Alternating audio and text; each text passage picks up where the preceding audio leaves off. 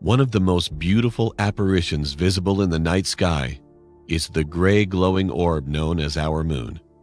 The moon has captivated the imaginations of astronomers and astrologers since time immemorial.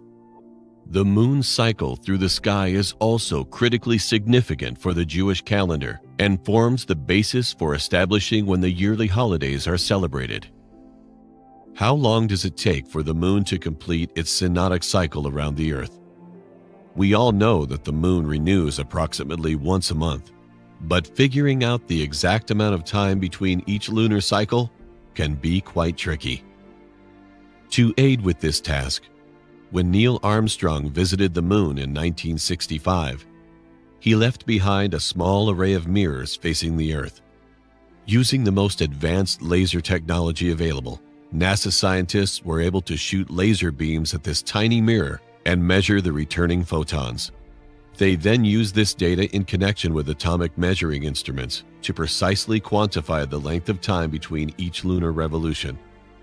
With this data, NASA concluded that the moon revolves around the Earth one time every 29.530588 days. Astonishingly, over 2,000 years ago, our sages calculated the length of the lunar cycle and came up with an almost identical number.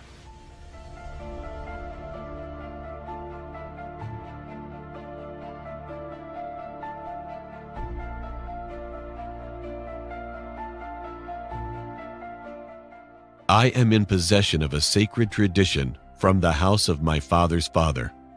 The monthly lunar cycle takes no less than 29 and a half days plus two thirds of an hour plus 73 of the 1080 subsections of an hour. If one combines these numbers, it is determined that this tradition put the lunar cycle at 29.53059 days every month.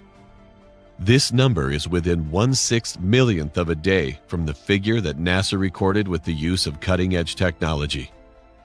This tiny differential is not due to lack of precision on the part of the sages, but rather due to the inherent limitation in the numerical system used to record time as compared to scientific measurement. How is it possible for the sages to have measured the lunar cycle with such unerring precision? Many astronomers over the ages have tried, but none of their numbers are even close to those possessed by the house of Rabbi Gamliel. One can only conclude that our sages had accesses to a divine source of knowledge.